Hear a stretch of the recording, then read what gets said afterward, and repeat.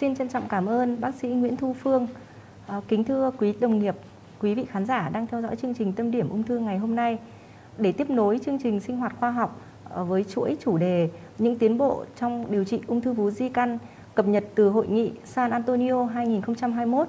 Hôm nay thì tôi xin phép được chia sẻ với quý đồng nghiệp, quý vị khán giả đang theo dõi chương trình à, những kiến thức cập nhật về điều trị ung thư vú di căn à, vai trò của điều trị miễn dịch trong điều trị bước 1 ung thư vú di căn. Như quý thầy cô, quý đồng nghiệp cùng quý vị khán giả đã biết, Keynote 355 là một nghiên cứu thử nghiệm lâm sàng ngẫu nhiên mù đôi có đối chứng giả dược được thực hiện pha 3 đa trung tâm và trên toàn cầu. Trong đó uh, phối hợp so sánh phối hợp hóa miễn dịch với điều trị hóa trị đơn thuần trên nhóm bệnh nhân ung thư vú di căn uh, triple negative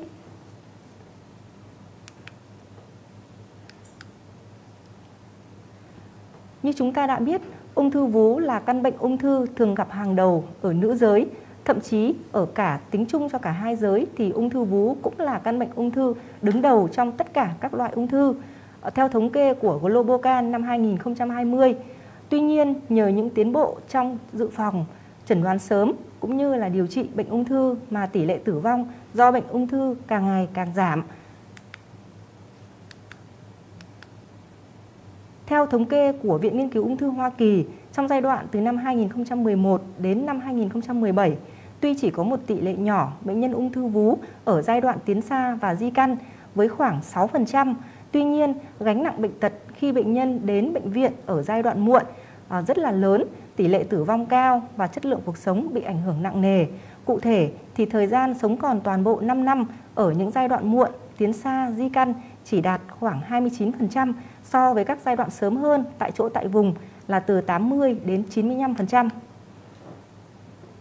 Trong các chương trình trước, chúng ta đã được nghe những bài trình bày cập nhật về các thể của ung thư vú. À, như quý vị đồng nghiệp cũng biết rằng ung thư vú được là một bệnh không đồng nhất và có bốn cái thể mô bệnh học được phân loại cho đến ngày hôm nay. Đó là thể lòng ống A, thể lòng ống B,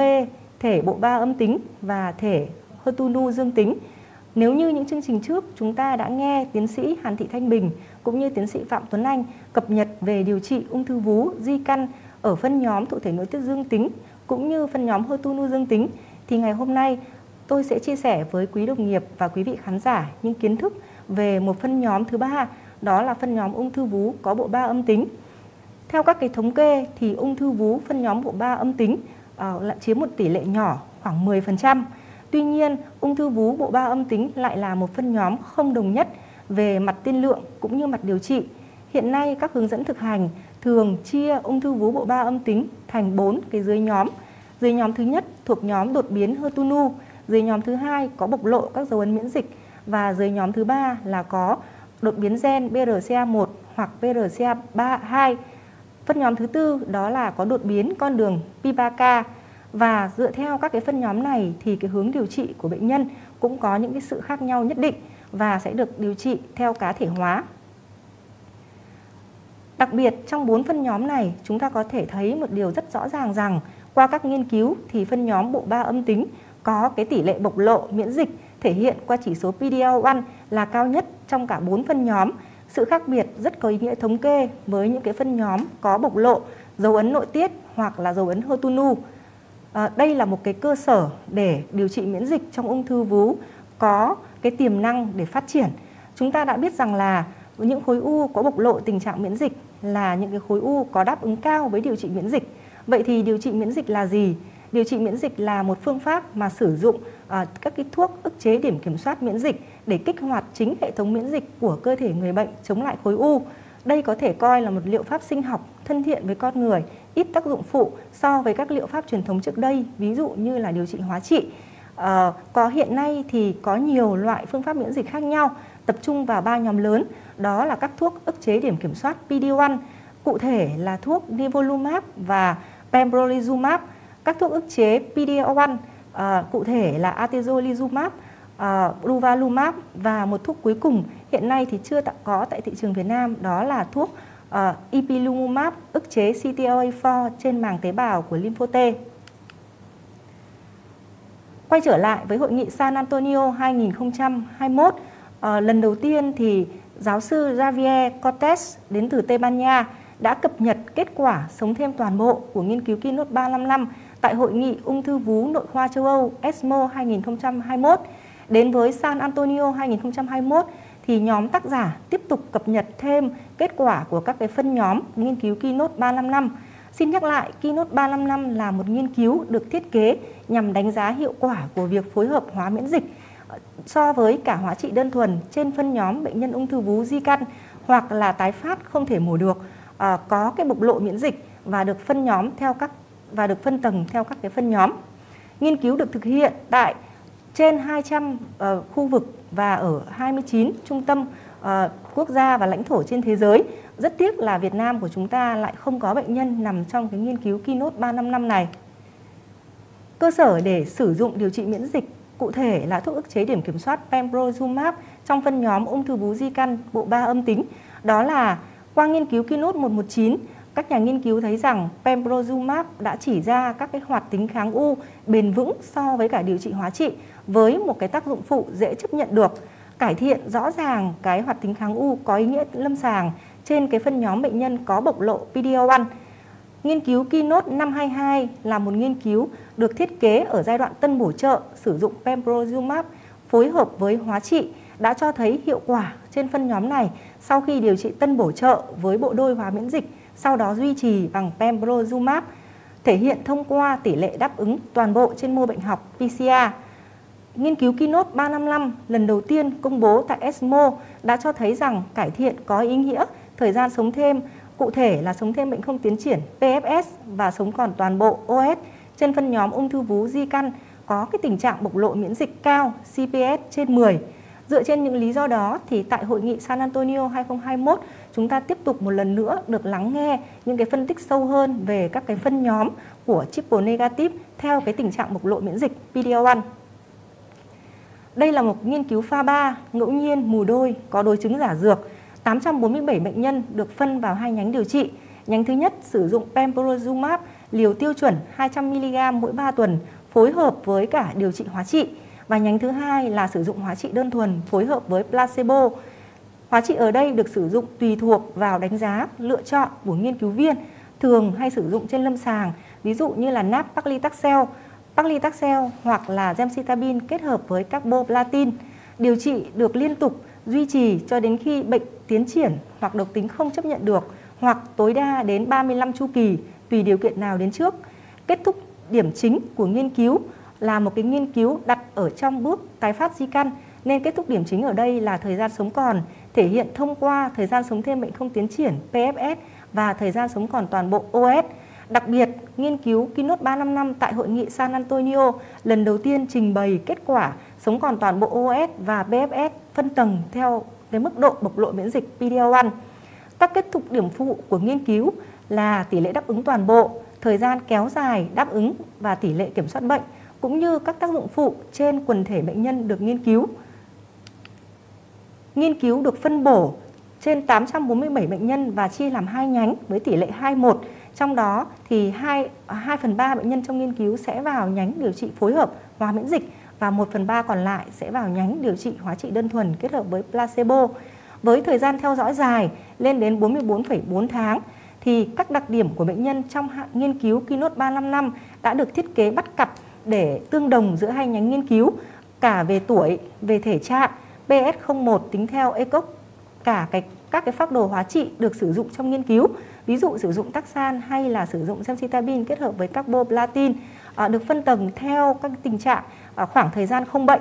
Đặc biệt là với cái mức độ bộc lộ PD-L1, chúng ta có thể thấy giữa hai nhánh điều trị phối hợp hóa miễn dịch hay điều trị hóa trị có cái tỷ lệ tương đương với nhau rất là rõ rệt. À, không có một nhánh điều trị nào được ưu tiên bệnh nhân có cái mức độ bộc lộ miễn dịch cao. Và một điều có thể thấy qua bảng uh, trình bày trên đây, bảng thống kê trên đây là cái nhánh mà bộc lộ miễn dịch cao CPS trên 10 chỉ gặp ở khoảng 1 phần tư bệnh nhân trong nghiên cứu, còn lại 3 phần tư bệnh nhân trong nghiên cứu sẽ là ở nhánh bộc lộ miễn dịch trung bình từ 1 đến 10 hoặc là dưới 1. Kết thúc điểm chính của nghiên cứu chính là thời gian sống thêm bệnh không tiến triển PFS và thời gian sống còn toàn bộ OS. Ờ, ở đây thì một lần nữa có thể thấy rằng là với cái thời gian sống còn toàn bộ PFS thì ở tất cả các phân nhóm dù là quần thể chung trong nghiên cứu hay là quần thể có mức độ bộc lộ miễn dịch thấp từ 1 đến 10 hoặc là bộc lộ miễn dịch cao CPS trên 10 thì cái thời gian sống còn bệnh không tiến triển đều cải thiện có ý nghĩa thống kê so với cả các nhánh điều trị còn lại. Cụ thể ở nhánh mà bộc lộ miễn dịch cao thì cái thời gian uh, sự khác biệt về thời gian sống thêm bệnh không tiến triển lại càng gia tăng đáng kể. Ngược lại, cái thời gian sống còn toàn bộ thì chúng ta chỉ nhận thấy lợi ích ở phân nhóm bệnh nhân có bộc lộ miễn dịch cao thể hiện thông qua chỉ số CPS trên 10. Cụ thể là trung vị thời gian sống thêm bệnh không tiến triển, sự thời gian sống thêm toàn bộ là 23 tháng ở nhánh điều trị phối hợp hóa miễn dịch so với cả 16.1 tháng ở nhánh điều trị hóa trị đơn trị. Ờ, và con số P của chúng ta là có ý nghĩa thống kê, tỷ suất nguy cơ HR là 0.73 có nghĩa là giảm được khoảng 27% nguy cơ tử vong do bệnh ung thư khi chúng ta điều trị phối hợp hóa miễn dịch. Xét về các cái phân nhóm phụ của PD-L1, đây cũng chính là báo cáo chính của nghiên cứu San Antonio 2021. Chúng ta có thể thấy đi sâu vào các phân nhóm à, bộc lộ miễn dịch thấp CPS dưới 1 hay là bộc lộ miễn dịch trung bình CPS từ 1 đến 9, rồi từ 10 đến 19 hoặc là bộc lộ miễn dịch cao CPS trên 20. Chúng ta thấy rằng nếu như OS có vẻ như thiên về cái nhánh mà bộc lộ miễn dịch cao với CPS trên 10, trong khi các cái nhánh điều trị còn lại bộc lộ miễn dịch thấp CPS từ 1 đến 9 hoặc là không bộc lộ miễn dịch dưới 1 thì cái con số P ở đây của chúng ta lại chưa có ý nghĩa thống kê. Tương tự như vậy, với thời gian sống thêm bệnh không tiến triển thì nếu như phân nhóm bộc lộ miễn dịch cao chúng ta thấy lợi ích rất là rõ ràng thì những cái phân nhóm bộc lộ miễn dịch thấp hơn À, ở đây thì với thời gian sống thêm bệnh không tiến triển, cái phân nhóm thấp hơn đó là tính theo chỉ số CPS trên 1 thì cái con số P của chúng ta lại chưa đạt được có ý nghĩa thống kê. Xét về các cái kết thúc điểm khác của nghiên cứu, ví dụ như là thời gian uh, tỷ lệ đáp ứng toàn bộ, thời gian kéo dài tỷ lệ đáp ứng hay tỷ lệ kiểm soát bệnh thì nghiên cứu cũng đã đưa ra những cái con số và có xu hướng thiên về nhánh điều trị phối hợp hóa miễn dịch so với nhánh điều trị hóa trị đơn thuần. À, cụ thể là tỷ lệ đáp ứng toàn bộ cao nhất sẽ ở những nhánh mà có bộc lộ miễn dịch cao CPS trên 10. Thời gian kéo dài tỷ lệ đáp ứng ở những cái phân nhóm mà có bộc lộ miễn dịch cao như vậy thường là dài gấp đôi so với cái nhánh điều trị hóa trị đơn thuần 12.8 tháng so với cả 7.3 tháng.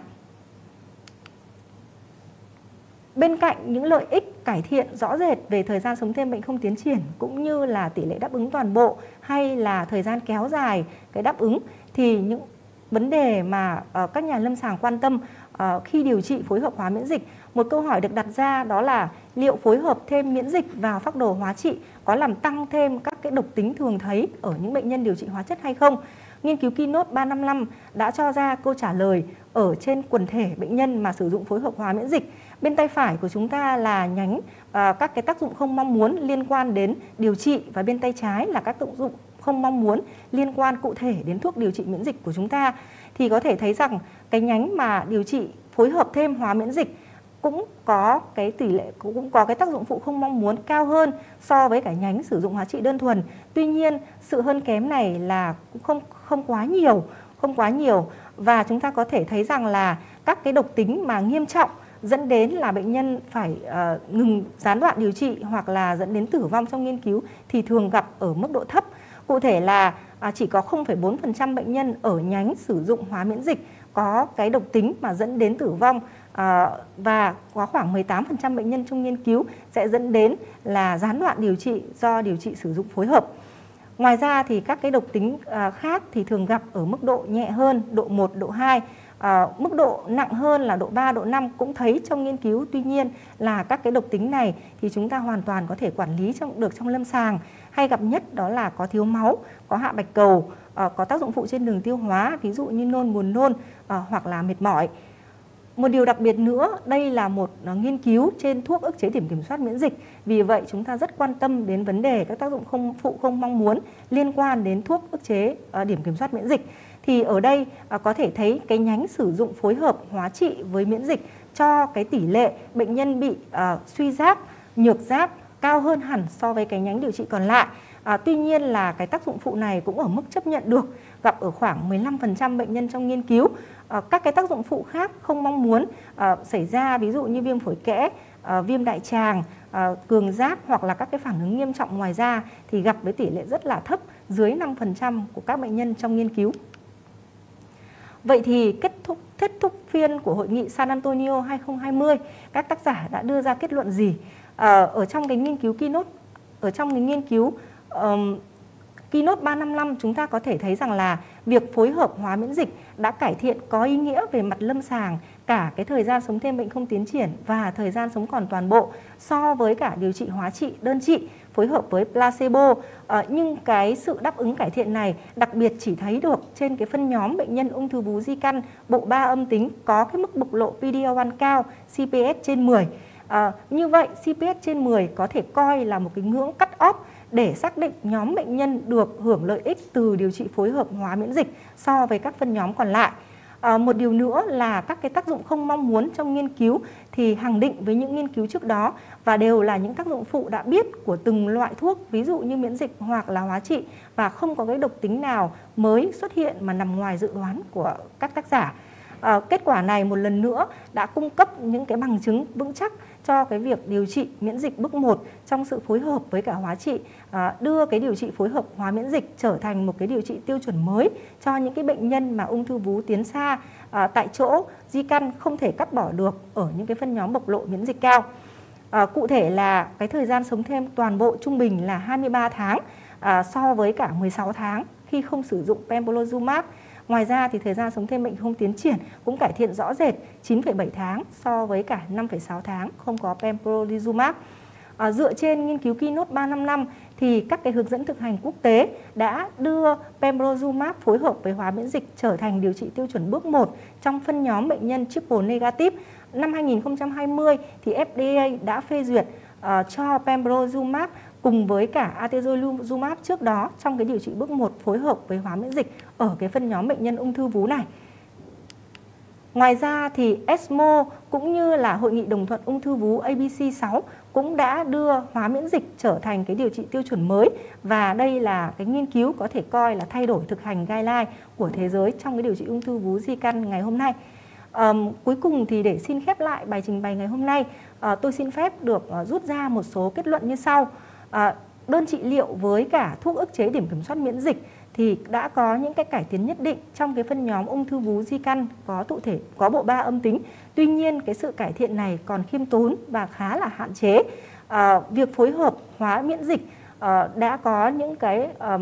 bằng chứng củng cố lâm sàng vững chắc mang lại những lợi ích cải thiện cả thời gian sống thêm bệnh không tiến triển và sống còn tuần bộ trong phân nhóm ung thư vú di căn có bộ ba âm tính và có bộc lộ miễn dịch cao thể hiện qua chỉ số CPS trên 10. À, ngày nay thì việc tham gia thêm của các liệu pháp điều trị khác ví dụ như là à, thuốc ức chế PAP, à, thuốc ức chế AKT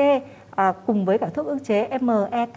à, phối hợp với cả liệu pháp miễn dịch à, nhắm trúng đích PD1 hoặc PD1 à, đã trở nên rất là hứa hẹn à, mang lại những cái kết quả cải thiện sống thêm cũng như là cái tác dụng phụ chấp nhận được à, và đang được các cái thử nghiệm lâm sàng pha 3 thực hiện ở trong bước 1 à, và chúng ta sẽ cùng chờ đợi những kết quả này à, và khi và à, cũng rất là mong sẽ sớm được cập nhật các kết quả đến quý vị khán giả. Xin trân trọng cảm ơn.